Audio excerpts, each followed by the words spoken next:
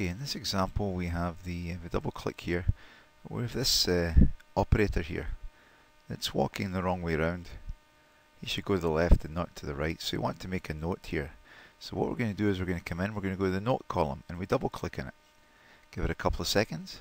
It's going to play back the video and then open up the actual uh, note area here. And here you can see you got a whole uh, variety of different notes and formatting you can do here. So we're just going to write a note here tell the operator to walk to the left and not to the right.